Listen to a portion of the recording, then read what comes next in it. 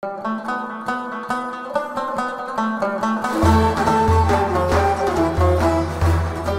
name is Fatma. I'm a Turkish journalist visiting Berlin. Walking through the streets of Berlin, I discovered that the local Turkish food scene is very popular.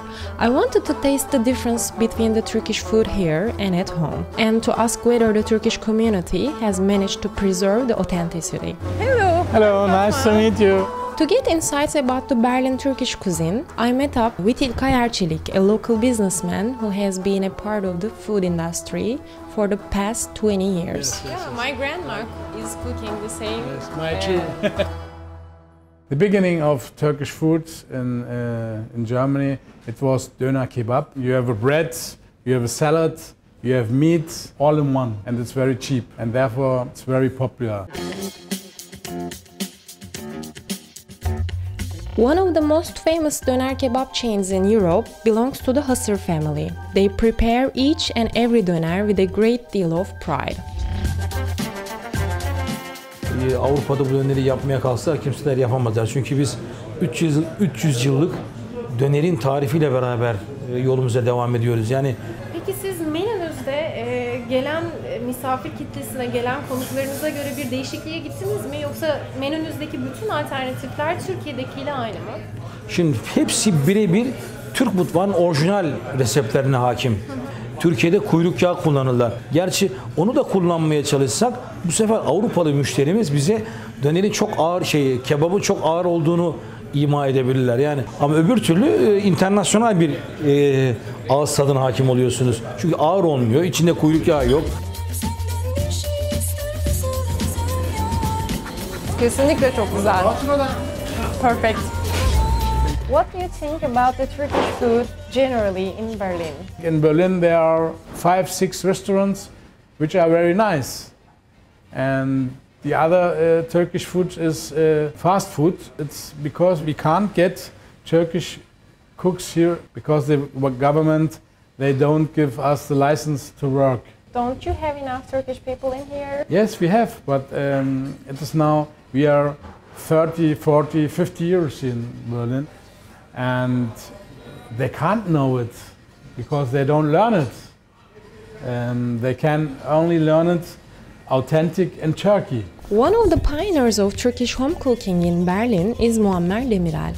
His dream was to open a cafe that served one Turkish dish per day. Soon, the demand for his food grew and he decided to open a restaurant serving the recipes his father had passed on to him. We are here in Mercan restaurant.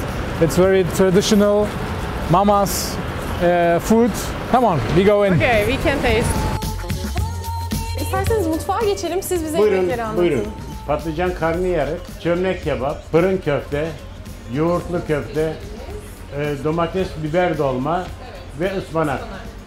Orada pilavlar, pirinç pilav, bulgur pilav, kuru fasulye, kuzu haşlamamız var. Bakın kuzu eti ve patatesi. Burada tavuk yani. Burada da zeytinyağlı türlümüz var. Peki size en çok e, nereden geliyor misafirleriniz? Türkler mi tercih Efendim, ediyor e, restoranınızı? Bizim müş- müşterilerimiz e, karışık. Yabancı turistler olmak üzere Almanlar ve Türkler. Şu arada Almanlar bizim yemeklerimizin isimlerini bile öğrendiler. Türkçe isimleri. Kapıdan girdiği zaman bir Alman bana karnıyarık verin diyor. So delicious. That's Turkish food. We were passing uh, in front of the çiğ köfte store and we just want to try. Ben size tadımlık ikram edebilirim aslında. Tadına Ee, bakmış lütfen, olursunuz. tabii. Acılı mı isterseniz, az acılı mı? Acı, az acılı olabilirse sevinirim. İçinde ne var çiğ köftenin? Bilmeyenler de öğrenmiş olsun. Neden Ee, yapılıyor çiğ köfte? Çiğ köfte içerisinde bulgur var. Ana maddesi bulgur zaten. Ana maddesi bulgur. Ee, et zaten orijinal çiğ köftede et, et var, var ama bizde et yok. yok. Evet. Bizde baharat 18 çeşit baharat var. 18 çeşit baharat ve Ee, domates salçası, domates biber salçası.